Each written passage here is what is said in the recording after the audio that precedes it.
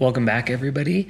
Uh, it's been about nine months since our last update and a full year since we received our first sling kit in December of 2022. This is about where we were on the build uh, nine months ago when we provided our last update. We've continued to work on the plane, although we haven't provided any YouTube updates. I'm sorry about that. Uh, so we've continued to work, as I said, and this is where we are as of yesterday. So we've made quite a bit of progress on the fuselage.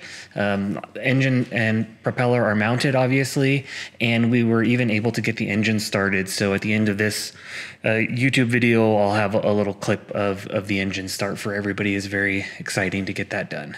So here are a few photos of uh, what we've done along the way. So here you can see in the background the fuel tanks are completed there. We've um, done the pressure testing on the fuel tanks and they're mocked up on the wings now. Um, this is a picture of us mounting the engine. Um, it went pretty smoothly, especially with the cherry picker that we were able to borrow. Um, we did learn later that the there was a service bulletin on the engine mount bolts, so we had to come back and replace those. Um, here's a picture with the uh, engine all the way mounted and the canopy on. Um, again, not too difficult of a process, although this took a little bit of time. Um, I will say that the, with the fuselage kit and the instructions, they're a little more vague than, say, the empennage or the wings. However, by the time you get to this part of the build, you've learned a lot and you're able to infer um, a lot, which is good, as well as the sling community is very helpful if you have any questions.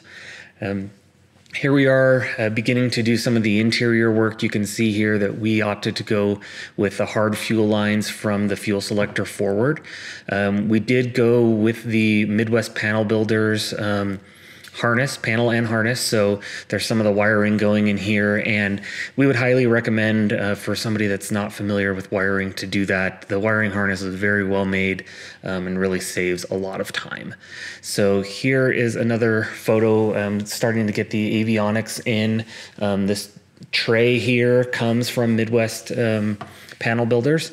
And so that makes it really easy to just get it on there um, and start mounting everything. Everything is all labeled, um, where to go. All of the hardware um, comes with the panel builder's kit, and so it really makes the process uh, a lot simpler and saves you a lot of time.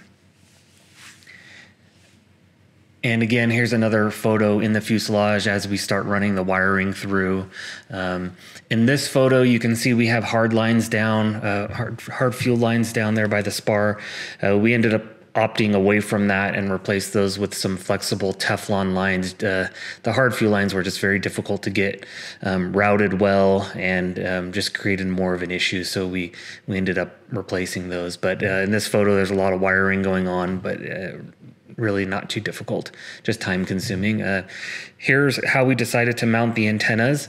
Um, the forward antenna there is the, uh, actually the ELT antenna. We decided to go with a different ELT antenna. Um, and then we split the the GPS antennas you see on the bottom of the screen there, as well as that square one on the left of the screen, uh, just to to comply with Garmin's recommendations for distance between antennas. Um, but mounting hardware all came with the Midwest Panel Builder stuff, so uh, again, very very handy to have. Uh, a photo of the panel um, mocked up. Um, and most of the wiring completed at this point. Um, we even were able to power everything on. Um, obviously, during the engine start, we had to have everything powered on. So um, at this uh, at this stage now, uh, we have the majority of the avionics completed, um, which is a, another big step. So here is the mounting for the um, propeller, and so uh, we did go with the Airmaster propeller um, and the electrically actuated prop, and uh, you know that really been happy with it so far. Obviously, we haven't um, flown it, but uh, you know the the quality seems very good. The propellers are very light, uh, lightweight, um, but really good good craftsmanship we think. So uh, here is another picture with the propeller on and mounting the cowling. Um, this this was a time consuming process. It took a long a long time to get it up there um, and trimmed. However the the video from from Evan it was very useful for um, for getting that. So here's uh, coming up the the engine start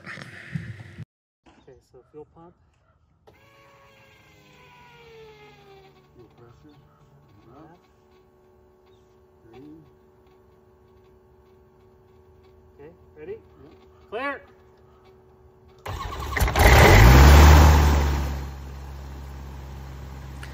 So in the video, you can see um, we got the engine started and uh, everything is it seems to be running well. Uh, we ran the fuel lines. You could see that red fuel can there. We ran the, the fuel and the return uh, down into a can there while we were running it because we don't have the wings on, so no fuel tanks. Um, but yeah, this this was a very big step for us, and we are excited that uh, we are here. All right, and last but not least, we have acquired a hangar for the sling. When once the project is ready to get moved to the hangar, uh, we're going to continue to keep everything in the in the garage as long as we can. Just makes it um, easy to work on, easy to you know spend a little bit of time working on it whenever we can without having to make a trip down to the hangar and dedicate a whole day um, to the work. So. Uh, in the meantime, we'll continue to document the, the process and uh, update as soon as we can. Um, you know, as I had, had feared kind of early on, the YouTube video making process does take quite a while. And you know honestly i'd rather be spending that time working on on the sling rather than making the video. So um, you know hopefully we'll have another update for everybody soon. Um, and uh, in the meantime thanks for watching